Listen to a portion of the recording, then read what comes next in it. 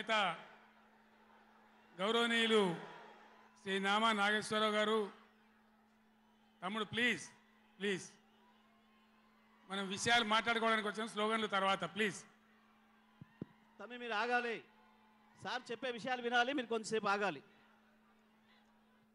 గౌరవనీయులు మన పార్లమెంట్ సభ్యులు గౌరవనీయులైన శాసనసభ్యులు శాసన మండలి సభ్యులు స్థానిక సంస్థల ప్రజాప్రతినిధులు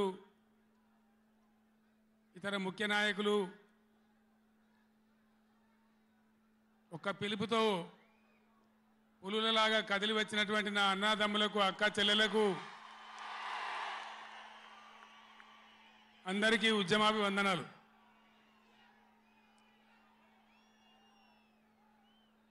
దయచేసి నినాదాల తర్వాత ప్లీజ్.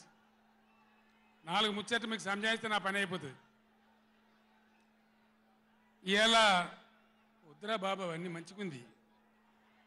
చాలా బాగుంది. ఇది. ఈరోజు నల్గొండలో చెలో నల్గొండ ప్రోగ్రాం తీసుకున్నాం. కారణం ఏంది? ఎందుకు మనం ఈ సభ పెట్టాల్సి వచ్చింది? నా కాలు ఇరిగిపోయినా కుంటి నడకతోనో కట్టెబట్టుకోనో ఇంత ఆయాసంతో నేను ఎందుకు రావాల్సి వచ్చింది? ఈ విషయం దయచేసి హరీశ్వర్ ఆగడా ఆగరాదా? రాజేశ్వర రెడ్డి చెప్పచ్చు కదా ఒకసారి వాళ్ళకి ఏంది అది సౌండ్ కింది చేస్తున్నాడు.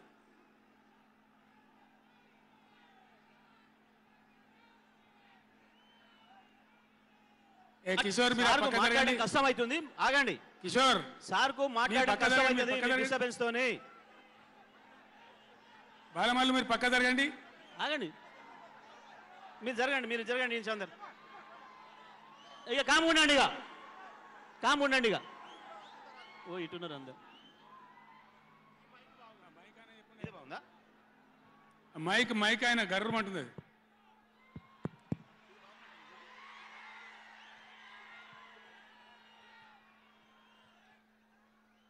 ఇవాళ ఈ చెలో నల్గొండ కార్యక్రమం మనం ఎందుకు తీసుకోవాల్సి వచ్చింది? కొందరికి ఏమో ఇది రాజకీయం. ఇలా మనం పెట్టింది ఉద్యమ సభ పోరాట సభ. ఇది రాజకీయ సభ కానే కాదు. కృష్ణా నదిలో మన జలాలు అనేది కృష్ణా నీళ్ళ మీద మన హక్కు అనేది మనందరి బతుకులకు జీవన మరణ సమస్య. సావో రేవో తేల్చే సమస్య.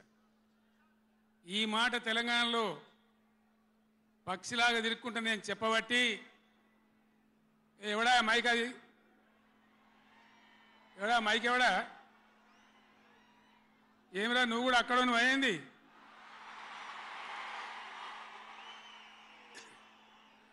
రాజేశ్వర రెడ్డి చూడొచ్చు కదా? మనం ఏం చేయకమని అంతే జాలిగా. బాగానే ఉందా? ఏం చేయకమను.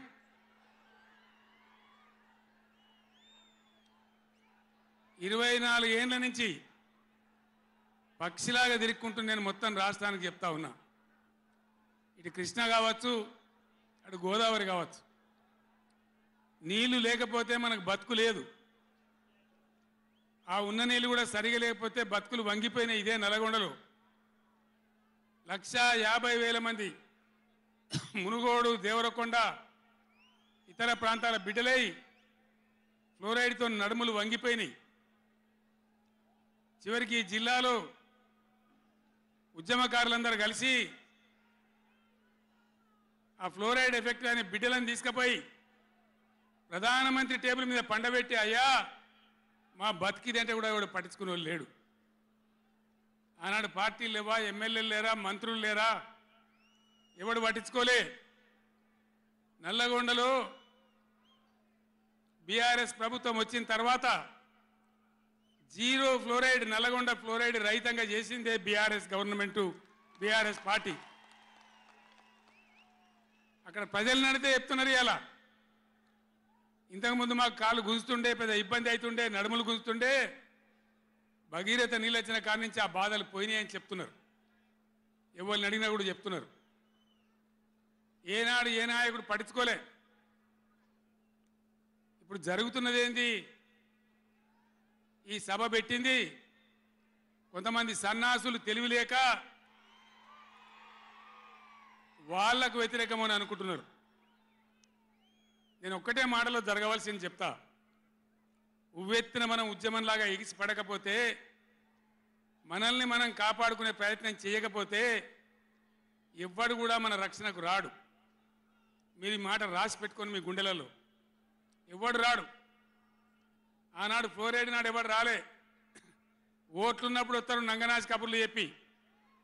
కానీ తర్వాత ఎవడు రాడు? ఓటు గుద్దినం గడ్డకెక్కిందంటే మన ఈపుల గుద్ది మనని బొందలు నూకుతుండే తప్ప ఎవడు రాలే.